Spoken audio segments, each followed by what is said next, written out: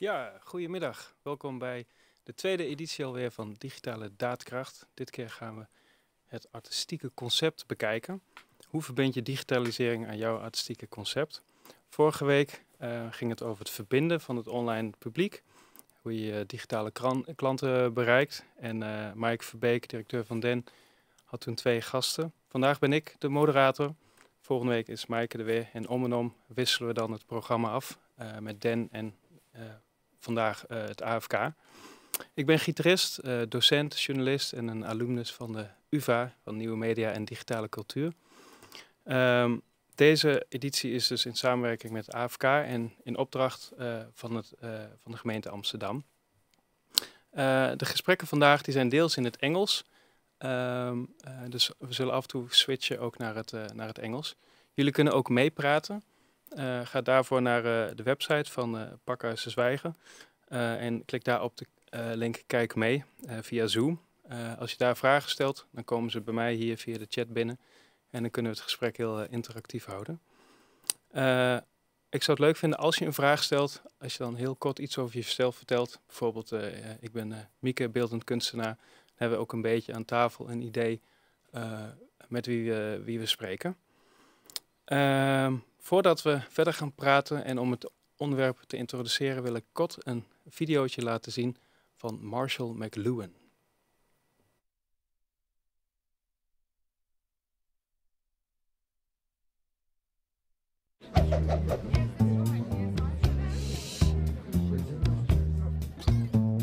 The medium is the message, declared Marshall McLuhan.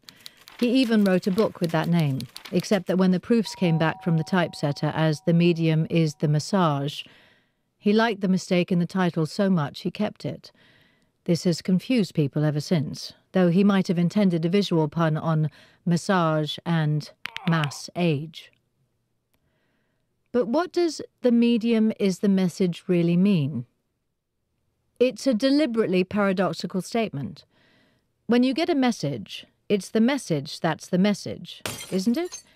The content rather than its form. McLuhan's genius was to focus on the medium itself. He argued that throughout history, what has been communicated has been less important than the particular medium through which people communicate. The technology that transfers the message changes us and changes society, the individual, the family, work, leisure, and more.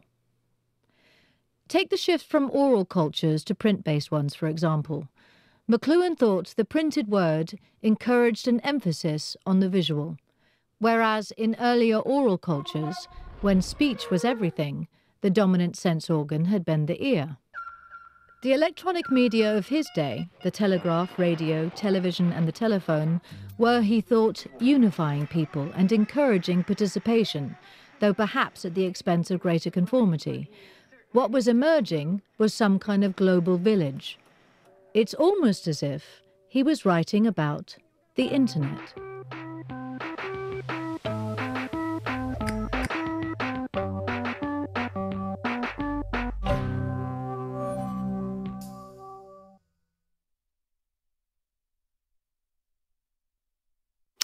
Ja, dat leek me een uh, leuke introductie. We komen er straks uh, nog uitgebreider op uh, op terug. Uh, de shift van de oral culture uh, naar de speech culture en naar de global village. Uh, we gaan vandaag wat uitgebreider spreken ehm, ja, over het medium en eh, welke boodschap je als artiest, als kunstenaar kunt uitdragen en op welke manier je daar digitale media, middelen, het medium voor kunt gebruiken. En we hebben daarvoor um, twee gasten. Ehm, om te beginnen hebben we Ali Eslami uit Iran. Uh, hij is een uh, eh, VR-kunstenaar uh, eh, met interactieve installaties en performances die, het leven van de toekom toekomstige mensheid, de postmensen, onderzoekt. in een volledig virtuele wereld. de VR-ervaringen die Islami ontwikkelt en ontwerpt, die ehm, is gebaseerd op zijn interesse in de cognitieve wetenschap en de, waar de menselijke perceptie centraal staat.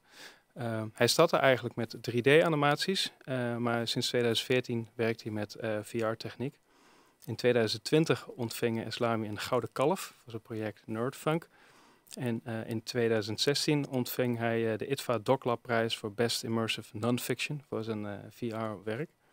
naast onderzoek, productie, regie van VR-projecten geeft Islami ook masterclasses, workshops. En onlangs is hij toegelaten tot de -hmm. Rijksacademie van de Beeldende Kunsten. Congratulations with your sub submission. Thank you. Um, before you show us your presentation, I was wondering, um, can you remember and share us your first uh, digital creation? Uh, yeah, it's a good question actually, and it goes to to my childhood when uh, because I I had the privilege because my dad was uh, really into computers, so we always had a computer in our house. Um, uh, we never had a gaming console. We always had a computer. Um, so I kind of grew up with the computers uh, when I was even a toddler. Um, so I think yeah, uh, I kind of like grew up like playing games uh, and learning how to run games, which is quite like a geeky thing to do when you're a child. Uh, working with like um, early uh, operating systems like MS DOS and Windows 98.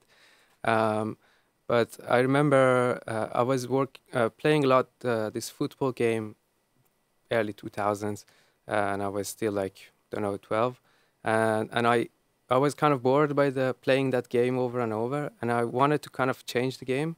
Uh, and in order to change it, it's called modding in the gaming community. Mm -hmm. So I started to learn 3D in the forums and internet, uh, which was quite early on and hard to, uh, you know, grasp this knowledge. It wasn't as easy as now. You, there's a YouTube video for everything. But uh, yeah, I managed to make a, learn 3D and make a 3D stadium of uh, of my home in in Tehran uh, and imported it into the game. So I could play in that stadium. So I recreated that stadium out of photos uh, in hmm. Google Images and hmm. made that, put that into the game. And and what was your fascination or your interest uh, with the with the media and not playing soccer outside or what what? yeah, I think um, maybe both. I think that that urge comes from kind of uh, like a like a motivation to sort of grasp a sort of urgency, uh, like an agency towards the reality. Uh, so I, I really wanted to create a version of reality that uh, like I could uh, uh, envision uh, and, and, be able to live within that. So I think that sort of like uh, was uh, like always uh, the the main motivation towards cre being creative and creating other words that not necessarily obey the rules of, of the, the, the consensus reality, but uh, shifts uh, perception towards new uh, possibilities. And, if you were grown up in a, in another country, for example, do you think you had the same motivation to to create a new reality, or is there sort of a link with your? yeah, I, I, yeah, I think it, it's really hard to to answer that because I haven't been, of course, uh, born in another country. But the thing is, uh, uh, I think there was a uh, kind of like a parallel world that I've been like navigating, like growing up with digital uh, words like early internet and uh, uh, uh computers, uh, and on the other hand, the the ground reality of Iran, which are quite in contrast. These two, because the internet back then was like a wild west. Everything was out there, and there was no structure right now, like it is right now. so this kind of contrast, kind of was sort of this this living within these words. I kind of tried. It was a bit chaotic, but within myself, I wanted to sort of like fill the gap in between by creation. Yeah. Yeah. Okay. Um, thank you. If you could please uh, get ready for your presentation, and I'll uh, sure. introduce uh, Lilian as well. Yeah. Um, ja, Lilian Stolk hebben wij ook hier. Uh, historicus, visual artist, onderzoeken en uh, schrijven. Ik heb haar boekje van de week even uh, ook uh, deels gelezen. Ik kon niet zo snel uh, lezen als Matthijs van Nieuwkerk. maar naast schrijven is ze ook de directeur van de HUM. De HUM. de HUM, ja. Ja, je, je, je schrijft HUM, maar je spreekt uit als de HUM. ja, je mag het zelf kiezen. ja. Kan allebei eigenlijk, ja. het is een platform over internetcultuur en het mhm. reflecteert op het online gedrag van mensen, internettrends en de mechanismen ook achter, achter big tech en de impact op de samenleving. Uh, de online events die jullie organiseren, uh, die benaderen jullie ook echt iedere keer als een, als een experiment. experiment. en jullie bouwen ook eigen streaming websites om ook onafhankelijk te zijn daarin, in samenwerking met hackers en designers. En jullie ehm, organiseren ook virtuele kroegentochten. Mm en alternatieve platforms. en daar ook hebben jullie de, de HUM Rooms georganiseerd. Um, straks gaan we ook naar jouw presentatie luisteren. Uh, voor jou eigenlijk dezelfde vraag. Wat is jouw eerste herinnering aan je digitale creatie? Hmm. Ja, uh, digitale creatie, dat weet ik niet zo goed. Maar ik kan me wel... Ik vond het heel grappig dat Ali dat net vertelde. Mijn vader was ook heel erg vroeg al met computers bezig. Uh, en ik was ook als tweejarige al computerspelletjes aan het spelen. mijn vader is computerprogrammeur, ehm, maar in de jaren tachtig was het nog niet gewoon om een computer thuis te hebben. Uh, en hij moest eigenlijk zijn um, mensen bij het bedrijf waar hij werkte ook opleiden om om te gaan met de computers. En dat deed hij door hun te laten gamen. En hij was eigenlijk de head van de game, uh, de, de, de gamebibliotheek van het bedrijf. En daardoor had hij altijd de nieuwste spelletjes uh, thuis. Ah, okay. Dus ja, ik ben echt ook opgegroeid met, met computers. Um, en ja, misschien niet per se als uh, creëren, maar wel heel erg daarnaar analyseren daardoor ook. Ja, dus je, inderdaad, vergelijkbaar met Ali heb je al vroeg die wereld meegekregen. Ja. En als je dan toch een stapje maakt, wat is dan voor jouw gevoel je eerste creatie? Dat je denkt van, oké, ik heb ehm. echt iets gemaakt nu. Ja, oeh. Uh, misschien dat dat wel werkstukken met word art was en ja, zo, precies. dat soort dingen. Ja. Want uh, ik, dit, uh, ik moet denken aan, het was een, zo'n videogame waar je zelf uh, banen kon bouwen. Stunts heette dat. Ja. Een heel oud spel. Dan kon je zelf dus de loopings plaatsen. En dat was inderdaad een soort van eigen VR-wereld. Of niet VR, maar dat je daar zelf als jongetje van tien of zo, denk ik ook, ja, zelf kon bouwen. en natuurlijk later de Sims. Of zo'n ja, computerspel ja, waar je eigen wereld en je eigen huis kon bouwen. ja, dat, dat soort dingen heb ik wel veel gespeeld. Oké, nou we gaan straks alles uh, meer over horen. Uh, we gaan nu eerst uh, luisteren naar de presentatie van Ali Eslami. Okay, um, so today I'm going to talk a little bit about my work and how I make virtual words. And secondly, how the pandemic changed my workflow and forms of its presentation. Um, so basically, to go a little bit about myself, uh, my name is Ali Islami. I'm an artist from Iran, uh, living and working in Amsterdam since 2018. Uh, and thanks to the three package deal uh, uh, supported uh, by Amsterdam Funds for the Kunst, it enabled me to move into Amsterdam and continue my career as an artist. Um, it's been more than six years since I'm mainly working with virtual reality as a medium. Uh, to develop my artistic practice. Uh, from a background of digital arts as a complete self-taught. I studied civil engineering and uh, grew up with an obsession with uh, architecture and games, which allowed me to freely explore digital arts uh, with an engineering mindset. I think my obsession with virtuality is rooted in Iran, where I'm coming from, and the situation I've grown up in raised in a conservative religious family, and on top of that, existing and experiencing the multiple layers of complexities and ideologies, where it makes it hard to find yourself. I tend to never trust it, uh, and always were looking for ways to create or imagine a version of reality that I could trust and live truthfully.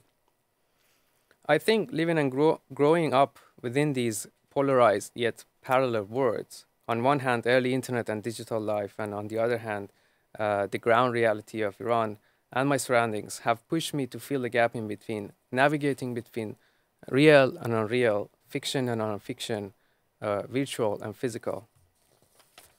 In 2016, I came to the Netherlands for the first time the, to show my first VR project, uh, which I made at home. Uh, it's called DevTools Experience, um, that at ITFA Festival, it was a huge success and uh, surprisingly won the Best Immersive Nonfiction Award. Uh, and it, this was my sort of the starting point for my artistic career uh, to kind of take VR seriously and uh, dive deeper into the, the, the, potential that lies within this medium. Um, My work actively involves uh, with board, word building, creating other realities. I tend to develop my practice in three different dimensions. Digital spaces, uh, which sort of kind of refers to dealing with virtual architecture.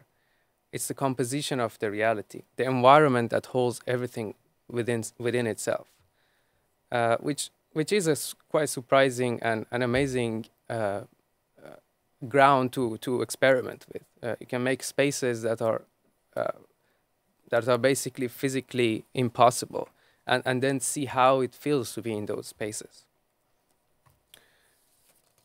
The second aspect of uh, my work development in word building is digital identities, the bodies which can live within those spaces, each with their own unique forms and functions, limitations, extensions, and perceptions.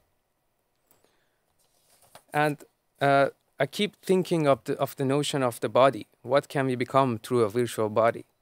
Designing virtual bodies is an exciting uh, layer of building virtual worlds.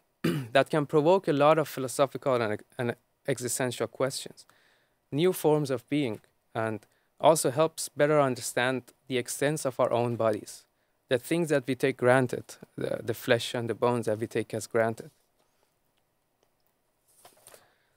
And lastly, the last layer of the work that sort of complements the whole word building process within my work is digital times, is about the experience of being in virtual space with those bodies, or in essence, the stories that, un that unfold.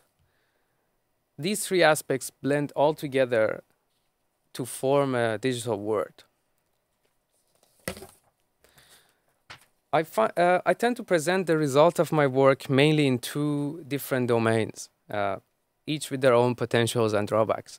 Uh, physical, kind of like installations, performance, uh, and online lately. Uh, and I see these these two different sort of angles of, of, of presentations of the work as so kind of like portals towards these these other words. These are like transitions towards the other words. In terms of physical installation, uh, it used to be a huge angle of my work, uh, and and especially since I came to Netherlands, I, I I started to take it much more seriously and do more research about it through collaborations with other amazing artists that I had the chance to work with.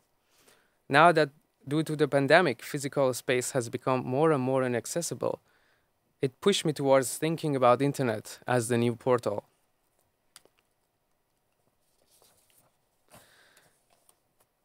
Uh, in continuation of the physical works I used to do was uh, I used to do a lot of lecture performances uh, from VR. I was actively running uh, live VR lectures, uh, giving a guided tour of, for the audience from VR and explain the word hands-on. I found it quite fun and engaging form of presenting the work.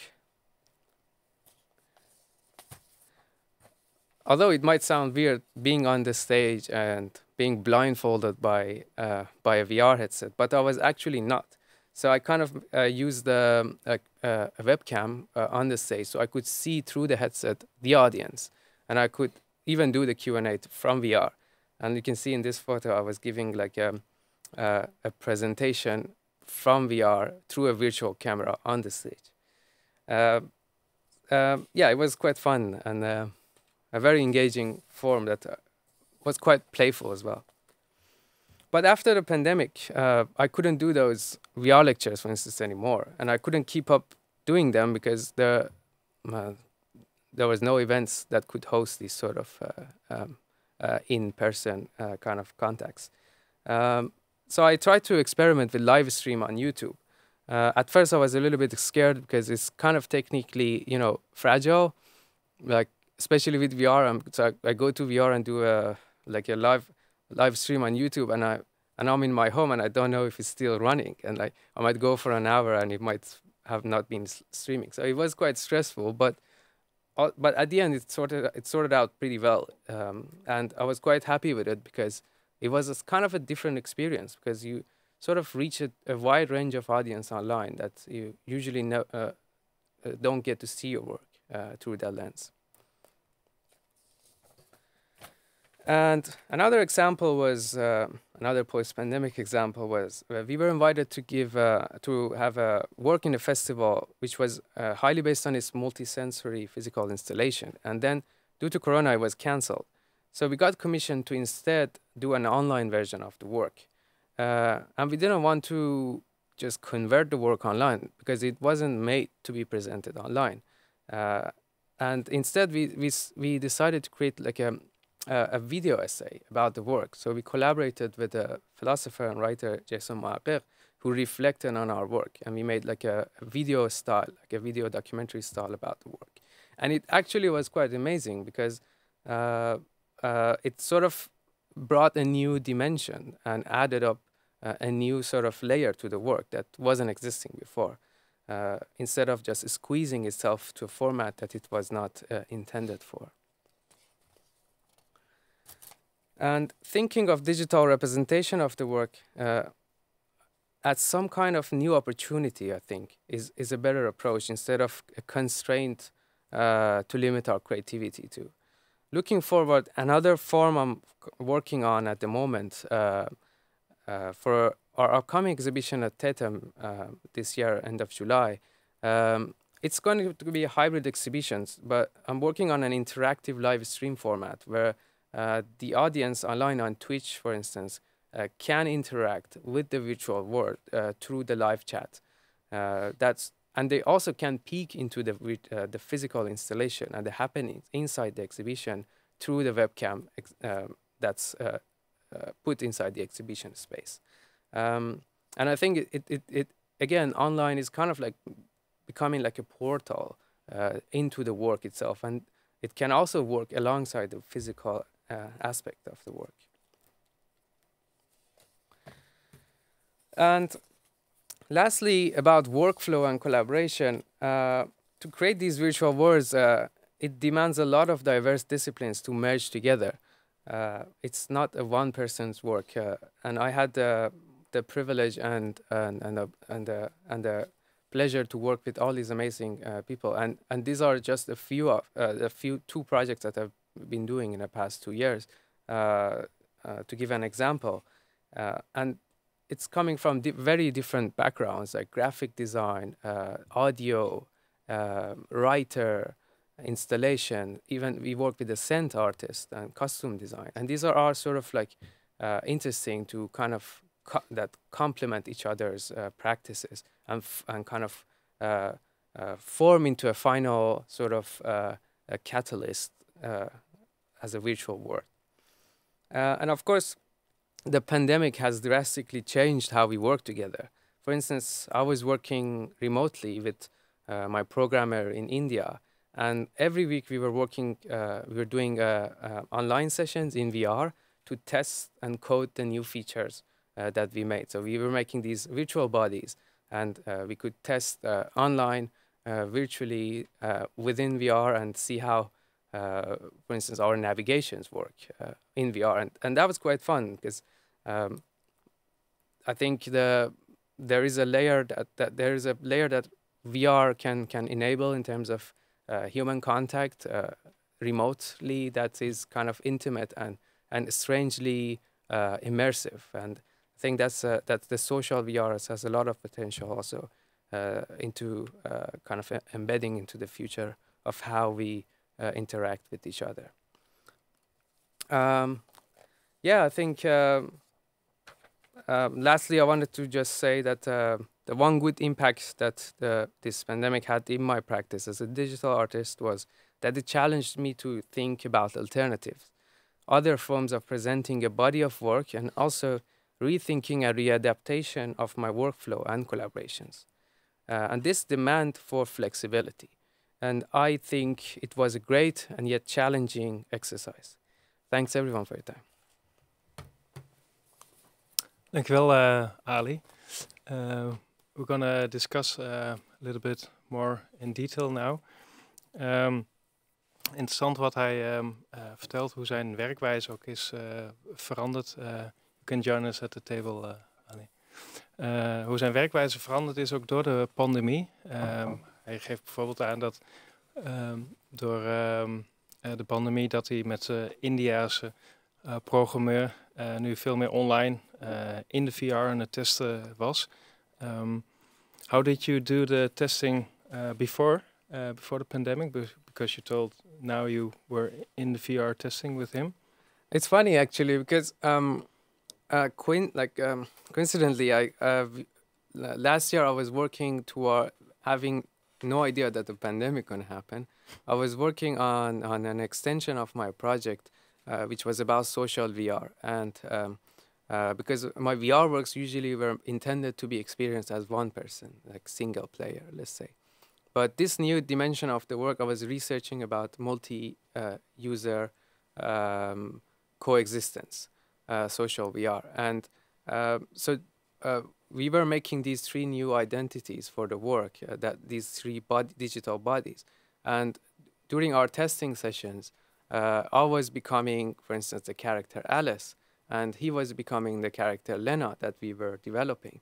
And we were meeting each other in VR, and uh, we were discussing the features of each other's bodies. So, hey, do you see when my when I raise my hand up, or do you see when when I move here? How does it look for you? And this kind of like uh, was like crafting and debugging and uh, because uh, that's a new uh, new way of experiencing VR. Uh, exactly. With multiple people in one uh, space, that's not that common in VR. Yeah, yeah, no, it's it's becoming quite like like there's an app called VR Chat, and it's for free, and everyone can make their own avatar and meet each other in VR, and it's it's it's also quite nice. It's kind of like it reminds me of early internet, which is everything was wild and weird, um, and mm-hmm. it's not yet standardized by commercial companies like Facebook. Uh, and yeah, this is fun. You can meet your friends there and uh, go to a virtual bar and with some strange uh, meet some other people and like play with other people and yeah, it's uh, um, it, it it it actually became much larger uh, kind of industry after the pandemic. Yeah. Um, in the body lab of your VR world, uh, False Mirror, you created memory capsules. Yeah. And uh, I found it really interesting concept for, for preservation and uh, tagging notes, uh, organizing thoughts and ideas. Uh, I was thinking about apps like Evernote or Readwise, yeah. um, but also to experience uh, different versions of, for example, uh, a song I wrote uh, or recording versions. Um, how do you uh, look at applications like like that in VR? Are you looking at a sort of forerunner for for new new applications? yeah, I think well, in, in, in my well, I I the way I deal with these kind of concepts are more like uh, speculations, and uh, um, I'm not intending to create like real functional apps uh, that can be distributed for the public. But as an artist, I tend to speculate and create these kind of different tools that uh, sometimes they don't work as intended. Uh, um, for instance, uh, as you said, these memory capsules. I was just trying to create other uh, ob- I kind of call try to rather call them poetic objects that these are objects that do something that they're not supposed to do but they sort of provoke new thoughts and possibilities. Uh, for instance I, am, I made a, a, a handgun but it's a dictionary so I call it a gun dictionary. So any object in, in the virtual world where you shoot with the handgun there's a small monitor in it that that uh, translates the object that it hits, uh, and mm-hmm. mm-hmm. the, the the gun dictionaries actually have a character, and it's quite rude dictionary. So when you have this hand handgun at your hand, and the whole world becomes new again. The, and I, am trying to research what, what it does to your to, to to your experience and your relation with the space and experience. So I was just playing around and going to all the different spaces, shoot at different objects to just see how this handgun uh, translates them for me. Yeah, and, and then I think we're touching the the medium, the message uh, uh, subject. How do you approach the the, the construction of meaning in VR? Uh, are you aware of of? Uh, I think this kind of an example about uh, yeah deconstructing the word or meaning from objects and and concepts of ideas? How, sure, do, you, yeah. how do you look at that? Yeah, it's a good question. Uh, because I'm I'm I'm highly inspired by surrealism as a as a um, as a form to sort of deal with reality, and um, I think the uh, speculation is at the core of my work, and I try to uh, uh, twist things that we take as granted uh, in our daily life, uh, because like the the aesthetic of my work sometimes look quite uh, like urban and tangible, but things are not as there's a little bit of a twist around it, uh, and I like this kind of states of disbelief that makes us think about what uh, how we use these different things, uh, and I like this kind of feedback loop that kind of makes us question what we already have, uh, and what we already how we already think, and how reality is constructed, uh, how generally civilized life sort of based on a, consensus reality. And once it's torn down around us, uh, uh, we feel, sometimes we feel fearful and kind of uh, rejecting about that reality. Uh, but it, at the other hand, it can also provide new possibilities, uh, rooms for exit towards something uh, that can enable new sort of grounds. Uh, really interesting. Interesting. Uh, and speaking about feedback, uh, if the audience at home have any questions, you can post them through Zoom, and then I can ask the speakers as well. I have a question for Ali. Yeah, great. Because I was wondering, like, um, this uh, dictionary gun. Do you get this idea when you are in real life, or is are you more inspired when you are in VR? Like I can imagine that yeah. you kind of lose the rules from the physical world when exactly. you are in a VR. But I'm I'm curious how it works for yeah, you. Yeah, it's actually a mix of both. Mm. Uh, hmm. some some uh, some creations, some tools, some spaces are based on uh, internal feelings and like um, like for instance uh, to give an example i made like this uh, capsule thing a uh, memory capsule that i made uh, was sort of after actually one thing I the first thing I made after the pandemic because I was kind of feeling nostalgic about this whole body of work because it's like a long-term research project and there has been a lot of things happen lots of space changed.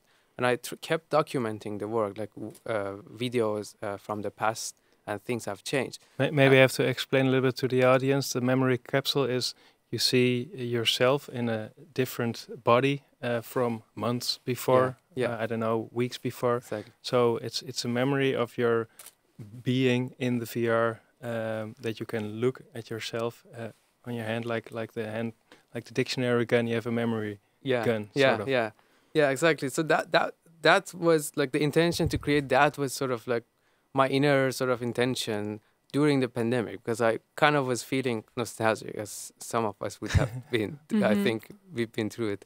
Um, but on the other hand, uh, some things actually uh, inspire to be created within the work itself, uh, and that's what what it makes it fantastic. That uh, when you lay down this kind of composition of different objects, uh, I just had a like a 3D object of a gun, and I was like, "This is cool. I can do something with it," and I just put it there and uh, this was a virtual world that I was living within it.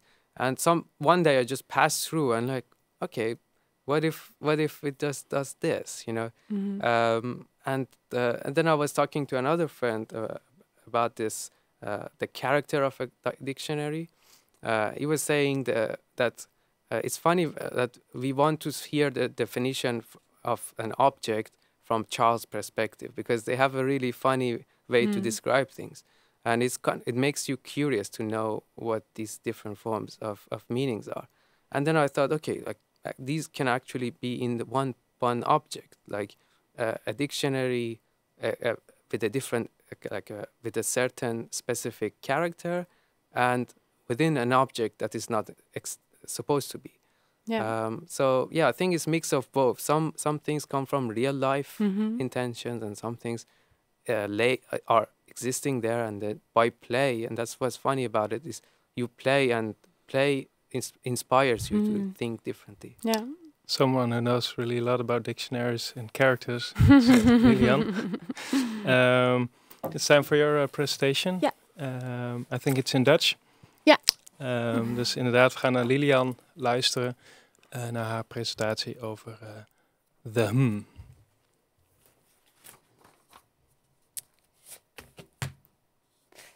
Ehm, zo. Hi. Eh, ja.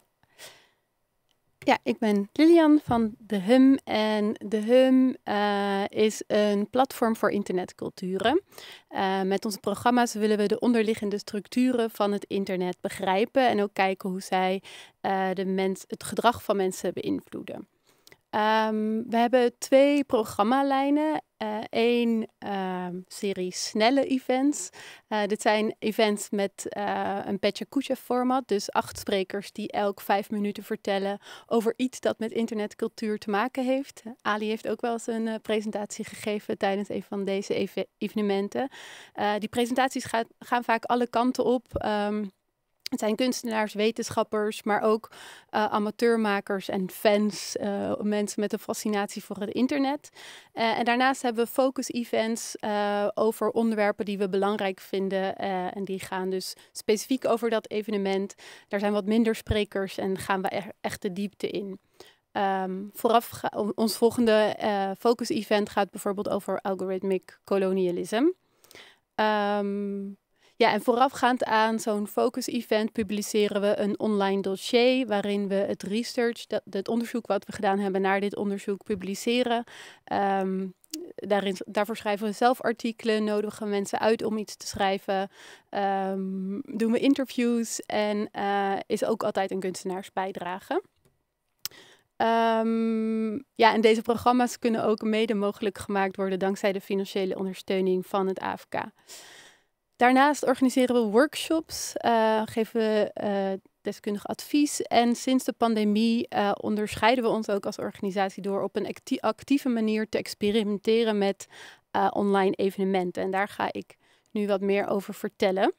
Want ook al gingen onze evenementen altijd over internetcultuur, uh, ze vonden wel altijd in real life of in fysieke ruimte plaats. En we dachten ook dat dit echt een essentieel onderdeel van onze evenementen was, omdat je het internet toch vaak als individu beleeft achter je scherm. Je, je scrolt dagelijks door enorm veel beelden zonder daar echt bewust van te zijn uh, wat er allemaal voorbij komt. En wij dachten, als je dat ja, met, in een zaal met andere mensen zonder scherm daarover hebt, dan heb je een bepaalde afstand en kan je daar ook beter op reflecteren. Um, ja, maar toen kwamen net als iedereen natuurlijk uh, uh, voor vorig jaar voor het uh, dilemma te staan, of eigenlijk het, het, het, feit dat we tot de zomer in ieder geval geen evenementen meer konden organiseren. en moesten we wel online dingen gaan doen. En eigenlijk was onze eerste vraag, maar hoe doen we dat dan? Hoe kunnen we het beste die ervaring die we die, ja, van onze live, van onze fysieke evenementen vertalen naar het internet? Um, ja, en daarbij was dit voor ons best wel belangrijk. De meeste platforms die we gebruiken om te communiceren, die zijn gemaakt voor het zakenleven. Die zijn niet gemaakt om een cultureel evenement te hosten. Um, ja, dus hoe, hoe, uh, hoe kunnen die daar, hoe, wat, wat gebeurt er als je die daar wel voor gebruikt? Um, we zijn als organisatie best wel kritisch op uh, big tech platforms. Uh, niet alleen qua inhoud van onze programma's, maar ook qua ja, onze, achter de schermen de tools die we gebruiken. Um, dus het voelde voor ons best wel gek om zomaar voor uh, een Zoom of een YouTube te kiezen en daar ons online evenement te doen. Maar ja, wat dan wel? En eigenlijk besloten we voor ons eerste evenement uh, precies gewoon daar een onderzoek van te maken. En, uh, en, en deze vraag te stellen: op welke platform uh, kunnen we het best gebruiken om ons evenement te organiseren? En dus ja, het werd een soort experiment en we namen ons publiek hierin, hierin mee. We kozen voor vijf verschillende platforms. Um, ja, meest uiteenlopende platforms eigenlijk. Dus van een mainstream website zoals YouTube tot een meer um, niche streaming website uh, zoals Twitch, uh, Discord, Zoom, um, ja, de, grote videoconference call en een meer um, ja, open source variant Jitsi. En we hadden vijf sprekers uitgenodigd die elk op een ander platform een presentatie gaven. En om het publiek moest dus om elke presentatie en het hele programma te zien, uh, van platform naar platform gaan. Uh, ik ga er even heel kort doorheen. Dus we hadden een ook de, de sprekers die we uit hadden genodigd, die gaven een presentatie over ja, hoe het internet veranderd was door de pandemie. Dit was bijvoorbeeld Wouter de Boer, die een presentatie gaf over het datacenter waar die werkte. En deze vond plaats op YouTube. Um, Faribors Karimi uit Iran gaf een presentatie over een performance festival dat hij organiseerde. Uh, Chef van Beers vertelde in Discord over TikTok-trends. Um, Joran Baks en Esther van Brakel um, vertelden in Zoom over de emoji, de uh, corona-emoji die ze ontwikkeld hadden. En Cas, van de Ven uh, was in Jitsi om daar meer te vertellen over. Hij is mede-editor van de subreddit over uh, coronanieuws en vertelde hoe dat ging. Uh, dus ja, vijf verschillende platforms, vijf verschillende sprekers. Um, het was een vrij uh, technische uitdaging, omdat elk platform weer andere ja, mogelijkheden en technische eisen heeft. Zo was het bijvoorbeeld op Discord, is het mogelijk maar om voor, was het maar mogelijk voor 30 mensen om de presentatie daar op het platform te volgen. Dus de rest van de bezoekers moest die presentatie via uh, Twitch volgen. Um, ja, en ook werd heel goed duidelijk dat de inrichting van zo'n platform ook heel erg de interactie van het publiek en, en ja, van het hele evenement bepaalt. Dus bijvoorbeeld, dit is een, uh, een, een screenshot van de Discord-chat. In Discord is het mogelijk om gifjes te sturen en customized emoji. En dat, wordt, wat, dat werd meteen ook heel erg omarmd door de bezoekers daar. En daardoor was die chat ook een stuk informeler. Uh, op YouTube moet je uh, inloggen om mee te kunnen doen in de chat. Nu hebben de meeste mensen wel een, uh, een Google-account om in te loggen, ja, ja, om mee te doen, maar is, dat is toch wel een extra drempel. Um, een ander verschil is dat bijvoorbeeld in Zoom heb je een hele, heb je als host een grote hiërarchie. Je kan iedereen muten als je dat wil. Um, dat kan heel handig zijn, maar wij voelden als organisatie voelde het ook een beetje gek om iedereen zomaar zeg maar de mond te snoeren. Um, aan de, Jitsi is precies het tegenovergestelde. Uh, daar heb je helemaal geen hiërarchie en daar kan in principe iedereen elkaar ook uit de Jitsi-room uh, uh, ja, sturen. Um, en we hadden dus in de, tijdens de Jitsi-presentatie van Cas was er in, in, de, in de chat een soort corona, uh, uh, een, een, troll die, die zichzelf uh, 5G causes corona noemde. En die zat de, de chat te, te spammen met dat Cas onzin vertelde. Maar alsnog zorgde hij er niet voor dat Cas gewoon, ja, dat hij Cas verwijderde. Of, um, terwijl dat eigenlijk wel gekund had. En, en na dit na dit, uh, ja, na dit event zaten we ook na te denken van oké, je kan dus wel de hiërarchie hebben, maar als je een fysiek evenement organiseert, dan uh, kan in principe ook iedereen opstaan om door de presentaties heen te praten.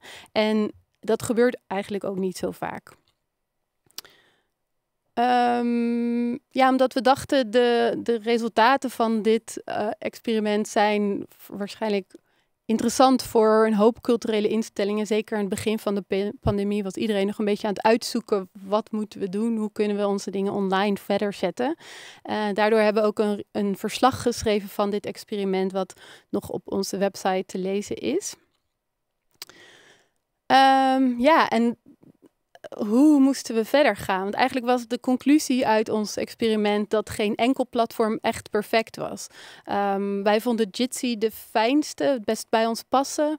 Uh, het beste platform dat het, pas, het platform dat het best bij ons past. Maar ja, Jitsi is heel onstabiel. Als, als er meer dan 30 mensen zijn, dan uh, is, dat, is dat al veel. En uh, ja, wij hebben vaak 100 mensen bij onze avonden. Dus dat, dat, dat was veel te risicovol.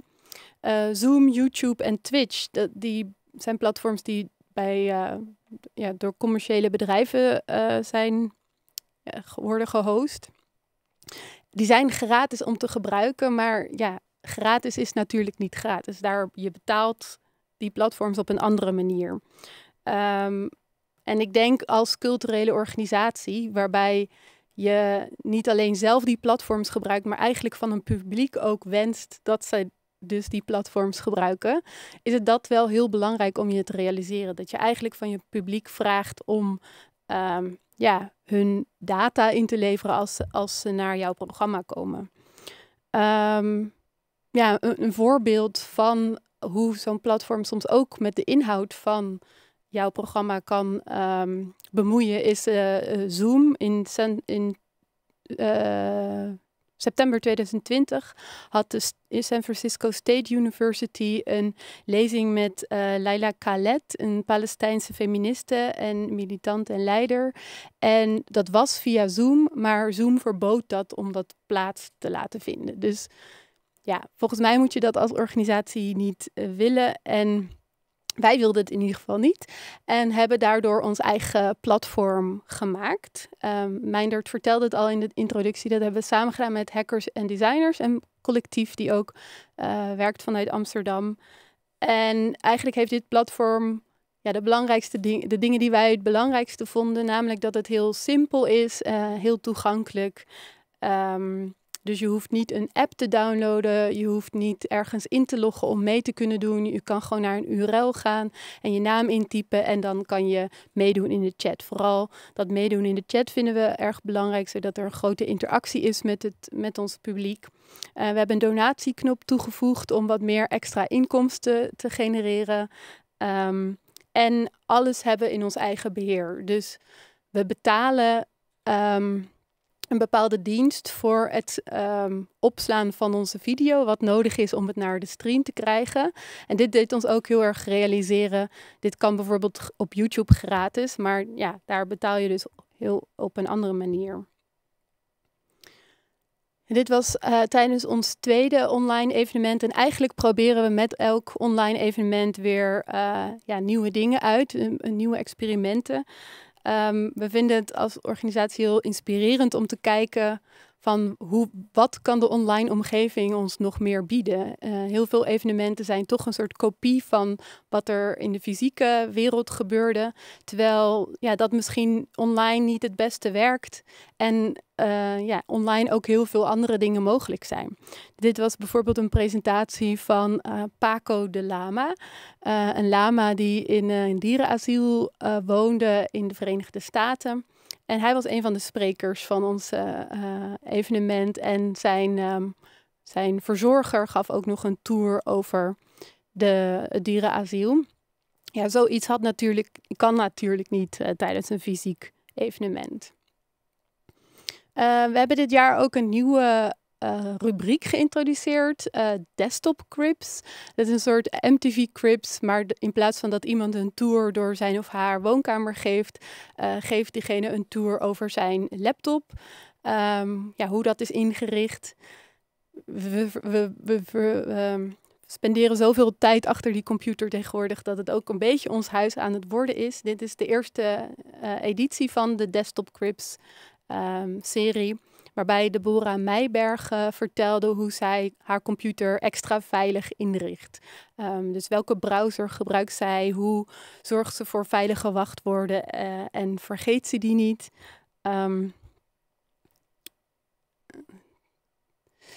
Ja, en op ons livestream uh, website zijn, is ons publiek eigenlijk alleen aanwezig in de chat. We hebben wel een hele actieve chat. Uh, dat is ook vind ik heel leuk om uh, te zien. Dat, we hebben vaak meer vragen dan tijdens fysieke evenementen. En ook hebben uh, kijkers met elkaar discussies tijdens uh, de presentaties. Dus ze reageren op wat er gezegd is, uh, vullen elkaar aan, be beantwoorden al elkaars vragen. bij ons laatste evenement was er bijvoorbeeld iemand die een slide deelde met allemaal tips om, om te volgen en te delen. Um, die ging veel te snel, dus iemand anders vroeg: kunnen we die nog een keer zien? En voordat ik uh, hem al geüpload had, had iemand anders hem al in de drop, een Dropbox aangemaakt en hem daarin gedeeld. Dus het is echt een soort community in de chat. Um, maar alsnog missen we eigenlijk wel om het publiek gewoon te zien. Om een zaal in te kijken en mensen aan te kijken. En ook om, als het event klaar is, nog even met elkaar ja, te praten en ehm, aan de bar bijvoorbeeld. Ehm, en juist die informele ehm, samenkomsten, die zijn best wel ingewikkeld om online te vertalen. Sinds eind vorig jaar experiment, uh, lanceren we eigenlijk met, of openen we eigenlijk met elk, uh, na elk evenement een online baromgeving. Um, hiervoor gebruiken we niet een uh, videoconference programma die een soort standaard tegeltjes um, structuur heeft, maar die maken we in een programma dat OJ heet, waarmee je dit soort dit soort uh, informele of, of speelse uh, omgevingen kan maken. we zorgen ook vaak voor een aantal interactieve um, elementen. Dit was bijvoorbeeld um, een soort ezeltje-strekje met de, de mittens van de Bernie Sanders, van de bekende Bernie Sanders meme. En dit was na een event waarbij ook iemand een presentatie over deze meme gegeven had. Dit was een reactie van iemand uh, na ons eerste online evenement. Um, dus voor diegene voelde het van platform naar platform gaan en daar steeds dezelfde namen in de chat op zien duiken als een soort fysieke ervaring. Iemand anders die gaf aan dat ze het heel leuk vonden dat wij nieuwe plekken van het internet lieten zien. En dit inspireerde ons eigenlijk om dit jaar weer een nieuwe virtuele tour te organiseren. Uh, wij dachten, als we mensen nieuwe plekken van het internet kunnen laten zien, dan willen we eigenlijk ook plekken laten zien die wij belangrijk vinden. Um, namelijk ja, alternatieve platforms. De meeste mensen weten de weg naar grote, de mainstream platforms zoals Facebook, Google, Gmail, YouTube. Al die platforms weten mensen wel te vinden. Um, maar die alternatieve platforms zijn vaak een stuk kleiner en um, moeilijker te vinden. Uh, en daardoor dachten we, maar ze zijn wel een stuk vriendelijker en leuker om te gebruiken. Dus daarom hebben wij eind maart een uh, tour naar vijf alternatieve platforms georganiseerd. Het was een beetje dezelfde setup als het eerste evenement. We hadden weer vijf sprekers en vijf platforms. Um, deze keer hadden we Mastodon, een gedecentraliseerde uh, variant van Twitter. Uh, Ethercalc, een soort open source spreadsheet. Mozilla Hubs, een uh, VR-omgeving. Uh, um, Nextcloud, een soort Google Drive, maar dan ook vriendelijker. En um, Terminal. En ja, deze keer kwam er eigenlijk nog een extra uitdaging bij dat geen van die platforms gemaakt waren om een presentatie te geven. Behalve deze eigenlijk. Dit is uh, de presentatie in Mozilla Hubs. Daar was een museum uh, gebouwd en kregen de bezoekers een tour door dat museum. Um, maar dit is bijvoorbeeld de spreadsheet. Die hadden we dan wel zo goed mogelijk ingericht om een presentatie te geven. Of de spreker uh, daar, Carl Mubarak. Hij had bijvoorbeeld um, ja, speciale vakjes gemaakt uh, voor als, stage, waar mensen konden gaan zitten door hun naam daarin te schrijven. En een, een speciaal veld waar de presentatie in plaatsvond. Um, ja, uh, hoewel de eerste tour best wel vlekkeloos verliep, was dat uh, minder het geval bij de tweede tour.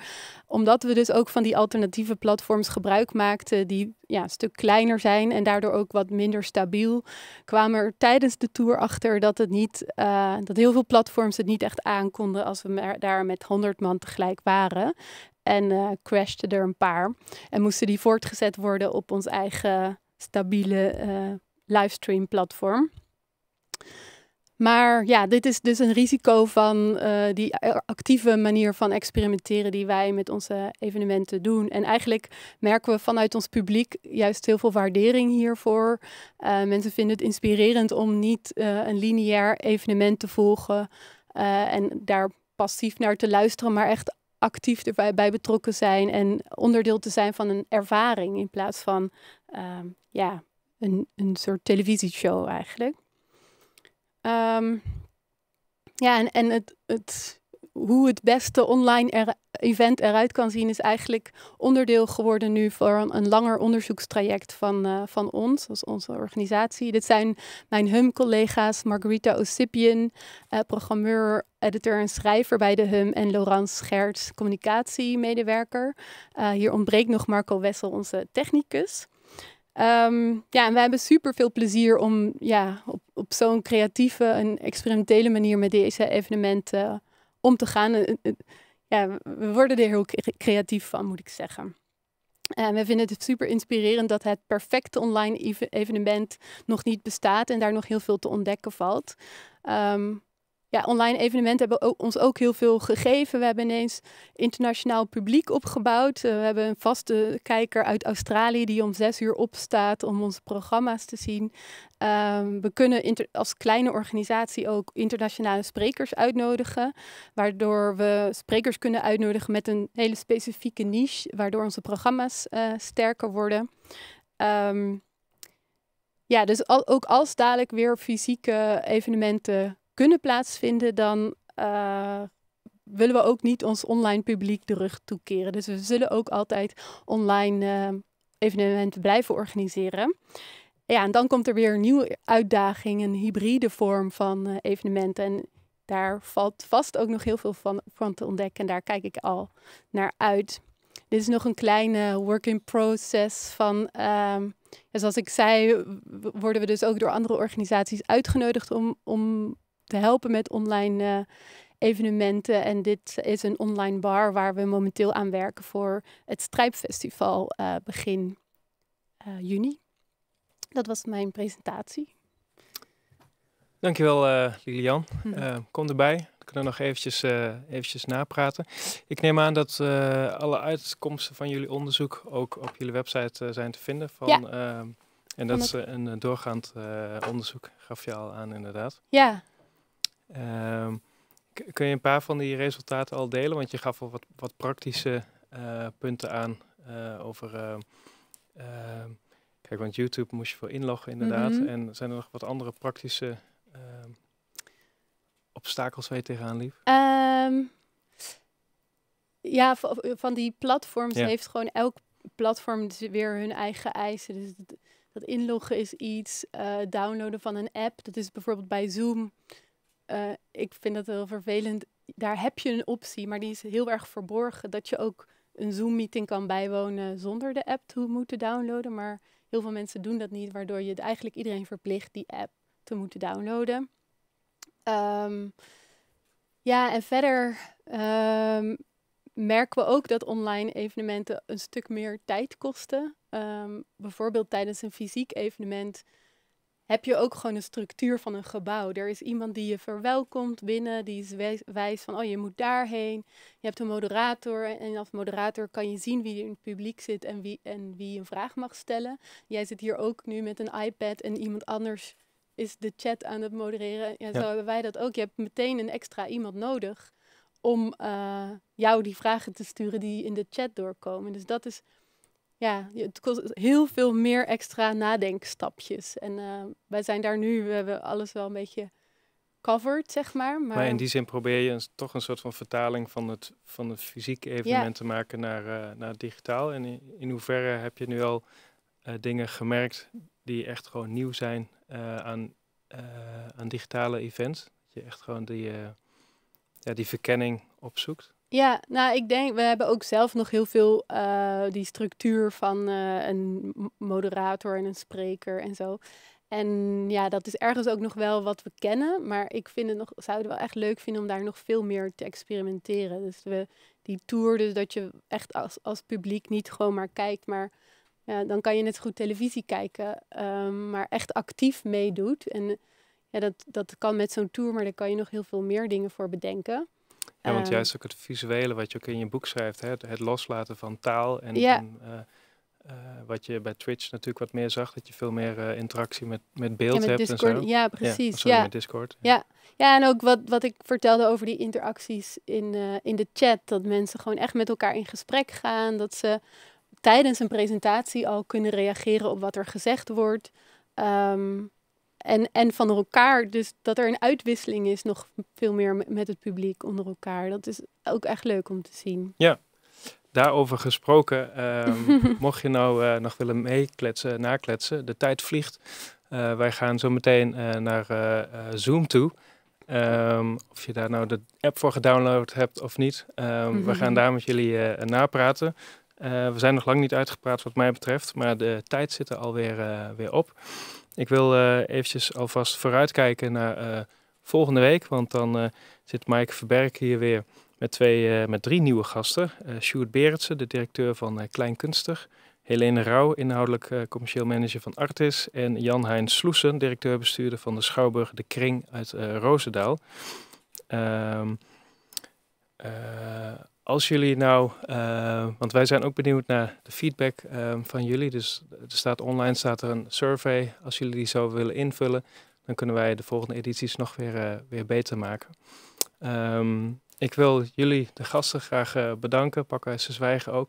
AFK. En wij gaan nog eventjes verder praten via Zoom. En ik hoop jullie graag de volgende keer ook weer te zien. dat was hem. Dankjewel.